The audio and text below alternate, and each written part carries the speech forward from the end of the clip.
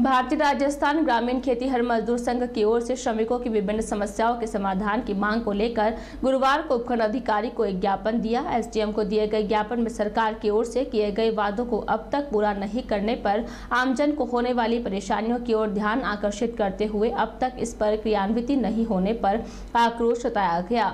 ज्ञापन में बताया गया कि आठ अगस्त को दिल्ली में आयोजित एक रैली के बाद पीएम को एक ज्ञापन दिया गया, जिसमें किसानों तथा मजदूरों की सभी समस्याओं का समाधान शीघ्र करने का आश्वासन दिया गया, लेकिन आज तक उन वादों को भी पूरा नहीं किया गया जिसके कारण मजदूर तथा किसानों में रोष व्याप्त है। ज्ञापन में किसानों के कर्ज माफ़ करने, बेरोजगारों को रोज़गार देने, किसानों को अन्य प्रकार के रियायत देने तथा गरीबी तथा कर्ज के कारण आत्महत्या के लिए मजबूर हो रहे किसानों की सुध लेने की मांग की गई।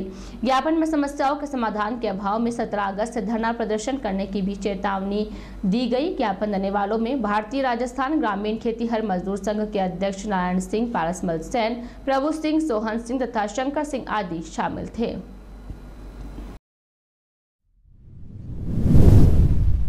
टाइम से महँगाई से और कर्ज से परेशान है। हमने ज्ञापन दिया था पहले एच साहब कलेक्टर साहब को।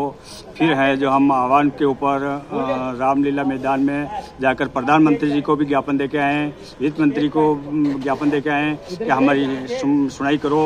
भूखमरी के कारण किसान मर रहे हैं कहीं भी ज़्यादा सुनाई नहीं करते हैं। और नरेगा में भी है सौ सौ दिन पूरे नहीं मिल, मिल रहे हैं। और ये महिला अभी आके गई है। आधार कार्ड है जो सुधार नहीं हो रहा है।